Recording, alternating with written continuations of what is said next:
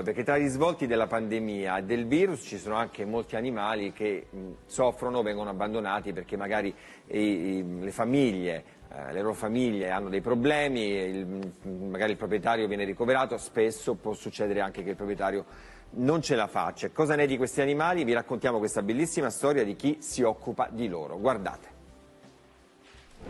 Per chi si ammala di Covid è complicato prendersi cura dei propri cani. I volontari Leida si occupano degli amici a quattro zampe proprio di coloro che sono in quarantena o ricoverati e diventano la nuova famiglia di chi purtroppo perde la battaglia contro il virus.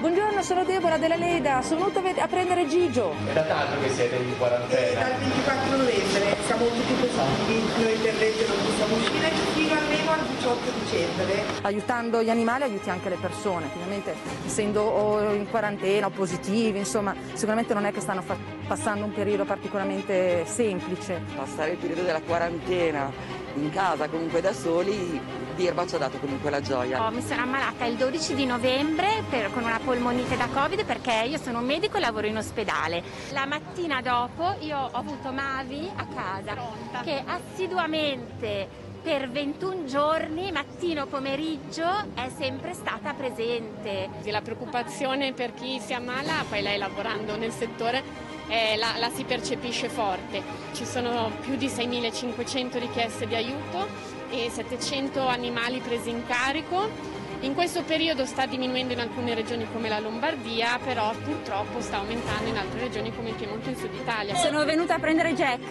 Per quanto tempo ancora è previsto che rimarrete in quarantena? Ho fatto il tampone, sto aspettando l'esito. Il proprietario era un signore albanese che di 80 anni circa eh, aveva questo cane a cui era legatissimo perché lui, il cane per lui era tutto. Questo signore non voleva andare in ospedale per non lasciare solo Mili. Mili ha un fantastico regalo di Natale perché una famiglia meravigliosa lo sta aspettando. Evviva allora Leida, in diretta con noi c'è Michela Vittoria Brambilla, presidente di questa associazione che ringrazio molto per quello che fa e vuole lanciare un appello attraverso di noi.